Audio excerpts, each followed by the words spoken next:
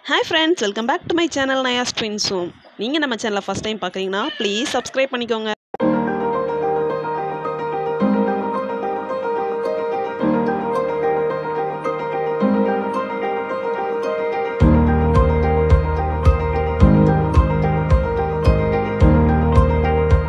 இன்றைக்கி நம்ம பார்க்க போகிற ரெசிபி கேரளா இட்லி ஃப்ரை அதுக்கு தேவையான பொருள் இட்லி மிளகா பொடி தேங்காய் எண்ணெய். அவ்வளோதான் இது வந்து கேரளா இட்லி ஃப்ரைன்றதுனால ஃபஸ்ட்டு நம்ம தேங்காய் எண்ணெய் ஒரு ரெண்டு டேபிள் ஸ்பூன் தேங்காய் எண்ணெய் சேர்த்துக்கலாம்.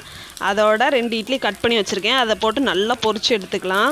நல்லா பொறு பொறுன்னு நகர வரைக்கும் பொறிச்சு எடுத்துக்கலாம் நம்ம.